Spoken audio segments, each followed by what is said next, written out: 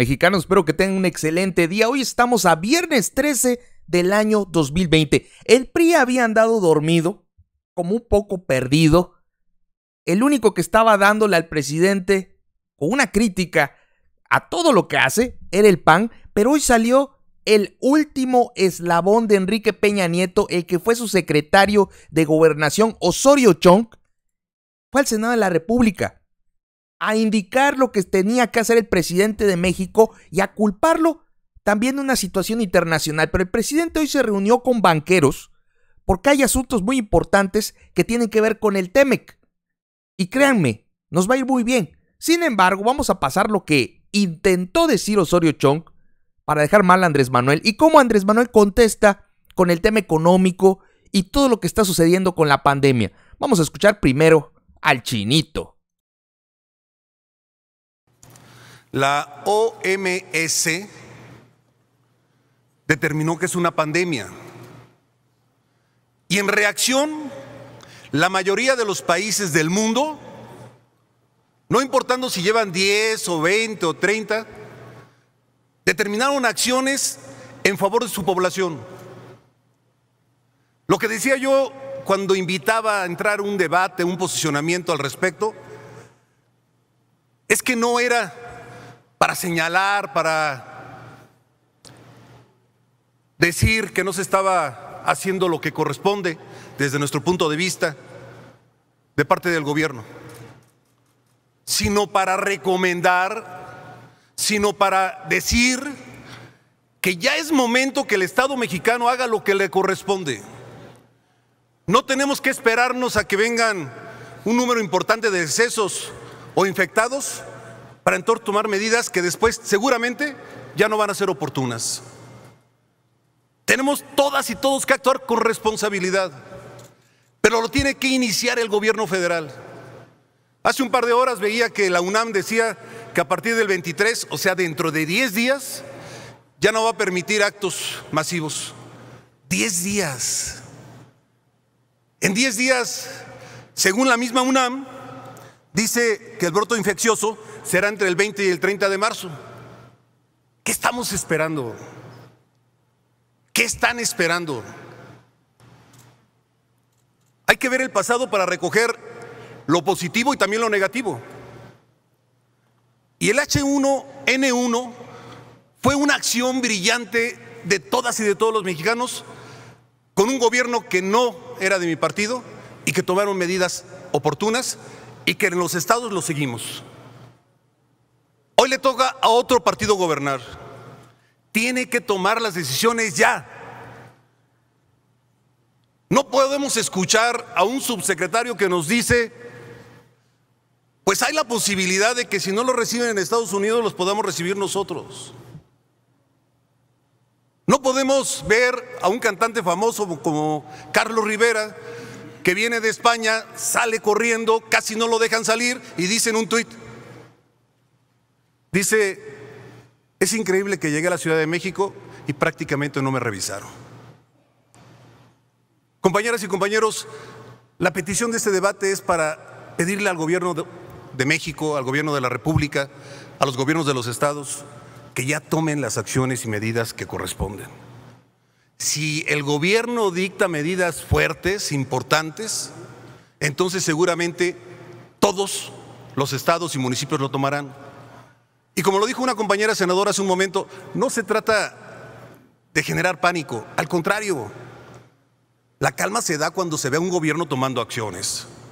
La tranquilidad se genera cuando se ve que se está actuando ante un tema de la más alta importancia en este momento. Yo respeto el acuerdo de los tres minutos, Presidenta, de los cinco si quieren. Lo importante es generar el movimiento hacia el gobierno federal para que ya se actúe y que se evite algo que después lo vamos a lamentar todas y todos. En la tarde me decía un periodista, oiga, ¿y el efecto económico? ¿De verdad tenemos que pensar del efecto económico? Eso es lo último que debemos de pensar en este momento. Si no hay salud, no hay desarrollo, no hay posibilidades de futuro. Quiero transmitirles mi preocupación. Primero, que su héroe fue Felipe Calderón, que no era un gobierno suyo, pero que actuó con toda responsabilidad. Y segundo, que no quiere alarmar, pero dice, si no, el dinero no importa, porque si no hay salud, no se mueve el mundo, bueno, el, el país. Osorio Chong, estás prácticamente diciendo que va a llegar un apocalipsis zombie si no se hace algo porque vamos a caer como país. Pero según tú no quieres alarmar. Imagínese usted, no ha habido ni un solo fallecido en México y en toda Latinoamérica, uno solo. Uno. Su héroe Felipe Calderón, con una brillante, qué estupidez. Al que sí le preocupa y le ocupa es al presidente Andrés Manuel el tema económico. Hoy se reunió con los eh, Aquí estamos hablando, a ver, vamos a ver, con la, con, la comisión bancaria. Lo importante aquí es el tema económico y también el presidente Andrés Manuel, pues el TEMEC que se aprobó y cosa que decía la derecha que no se iba a aprobar, se aprobó el TEMEC y eso nos va a traer beneficios económicos. Porque esto del COVID va a pasar de moda en un mes o dos, máximo. Y si nos interesa, el tema económico porque el presidente quiere bienestar. Vean lo que les dice a los banqueros a la cara para que luego digan capechaneando. El presidente no se lleva con los del Banco de México. ¿Cómo no? Comió con ellos hoy y vean cómo le aplaude. Vamos a escuchar al presidente. Eso se terminó. Cuando antes se hablaba de austeridad, ¿qué nos decía? Que había que apretarnos el cinturón los mexicanos, la sociedad. Ahora no es así. La austeridad es que se apriete el cinturón el gobierno. No puede haber lujos en el gobierno, no puede haber derroche, no puede haber gobierno rico con pueblo pobre. Por eso tenemos finanzas públicas sanas y también vamos a seguir respetando cabalmente la autonomía del Banco de México para que actúen con independencia